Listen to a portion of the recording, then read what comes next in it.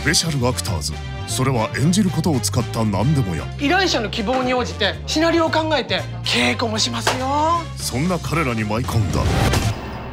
ある依頼。詐欺団体から旅館を守ってほしいんです。幸せに結びつける。ムスビルシャワーを。そのミッションに送り込まれたのは緊張すると気絶する男。まずはそこに潜入か。潜入？この男。逃げ出したい。ビビってんの？史上最弱。いや。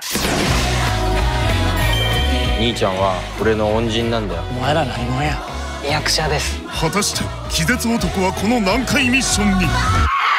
どう挑む？僕は一生このままなんでしょうか？この映画予測不能。